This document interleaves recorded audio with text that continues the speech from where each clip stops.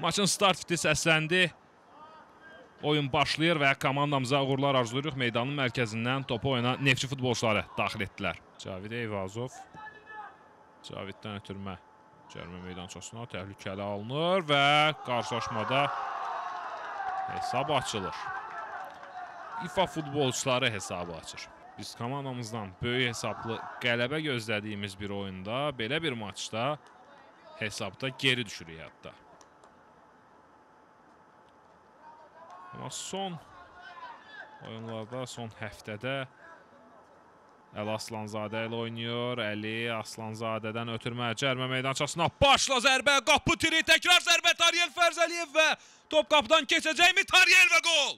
52-ci dəqiqədə hesab bərabərləşir Fərzəliyev. Bu dəfə isə onun qolu qeydə alınır. 52-ci dəqiqədə Tariyel Fərzəliyev maçda hesabı bərabərləşdirir. Cavabı erkən gəlir komandamızın.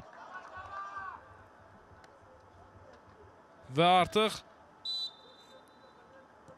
Bombardirlik yarışında Elgün İsaqova çatdı Dariyel Fərzəliyev. Hər iki futbolçunun aktivində 24. Ömər Nəsibov, Həsən Vəliyev, Həsəndən Elvin Qurbanov istiqamətində ötürmə. Amin Muradov qaytarır topu Elvin Qurbanova. Elvin baxır qapıya. Qurbanovun zərbəsi və gol! Elvin Qurbanov 82-ci dəqiqədə komandamız nəhayət ki hesabda irəli çıxır.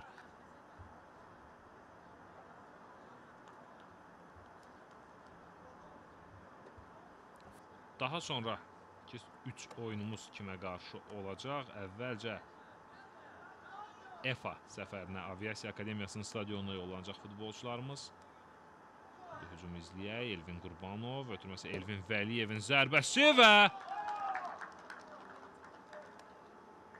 top qapının üstündənmi keçir, yoxsa qol mu qeydə alınır? Burada qol deyir hakim. Hakim qol qeydə alır.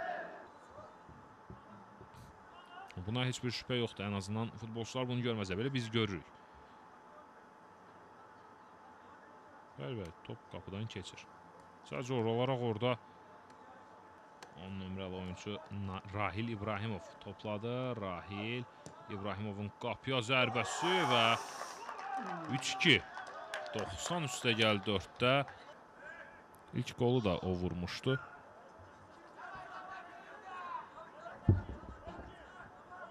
Elaydın Mirzəlinin bu topa müdafiəçilər uzaqlaşdırmağa çalışırlar. Yalnız indi uzaqlaşdırdılar. Daha bir ötürmə cərmə meydançasına əks hücuma çıxmağa imkan vermədi hakim. Oyunun final fitini səsləndirir. Çox çalışdı bugün İFA futbolçuları, amma bu yetərli olmadı.